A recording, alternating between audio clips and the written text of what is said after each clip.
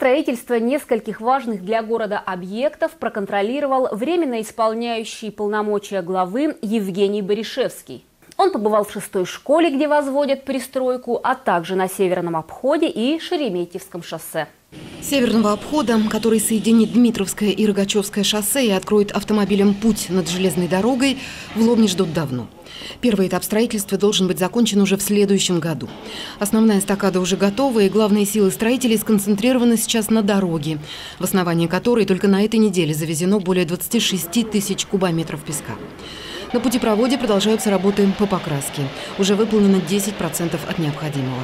На мосту на Дмитровском шоссе полностью забетонированы стойки. На мосту на улице Чайковского идет забивка свай и бетонирование стен. Конечно же, мы этот темп будем держать, потому что северный обход очень нужен для того, чтобы разгрузить э, э выезд на Дмитровское шоссе для жителей э, Лобни. В то же время на Лобнинском шоссе, реконструкция которого также ведется по нацпроекту «Безопасные и качественные автодороги», началось возведение четырех надземных пешеходных переходов. Сейчас идет забивка свай и устройство фундаментов опор башенного типа. Шоссе расширят от 4 до 7 полос. Будет смонтировано освещение, проложены тротуары, установлены остановки общественного транспорта. Надземные переходы будут оборудованы с учетом потребностей маломобильных пешеходов. Расширение дороги сократит время в пути от Лобни в сторону аэропорта Шереметьево и обратно на 30 минут. Открытие движения запланировано на конец 2022 года. В августе следующего года должна быть готова и пристройка к школе номер 6 на 400 человек, которые с нетерпением ждут ученики, родители и педагоги.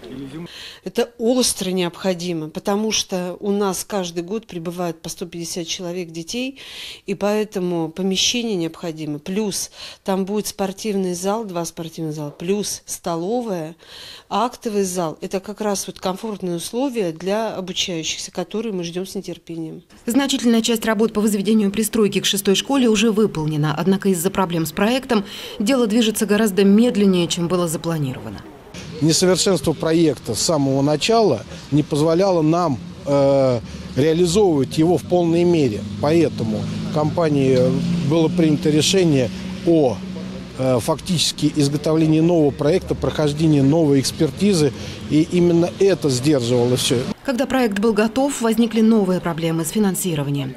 Между тем, до холодов нужно закончить наружные работы и приступить к внутренним. А для того, чтобы начать отделку, необходимо установить окна и смонтировать крышу. Самое главное сейчас это наладить э, диалог э, с подрядной организацией, с органами, которые э, надзирают за ходом строительства. Ну и, конечно, с директором школы, которая испытывает всю эту боль каждый день на своих собственных плечах. Поэтому мы провели первое совещание штаб строительства сегодня. Договорились о том, что документальную часть мы просмотрим и сможем выйти на оплаты работ, которые по факту сделаны, что, э, естественно, оживит и саму стройку. К 1 сентября строители выполнили благоустройство у входа в школу, смонтировали переход из основного здания в пристройку и закончили работы на стадионе, где уже этой зимой ребята смогут заниматься лыжной подготовкой. В период локдауна стройка не остановится, потому что сдать объект в эксплуатацию необходимо уже летом 2022 года. Наталья Приловская, Сергей Мельников, Алексей Орлов, Денис Рокин и Михаил Жуков. Телекомпания «Лобня».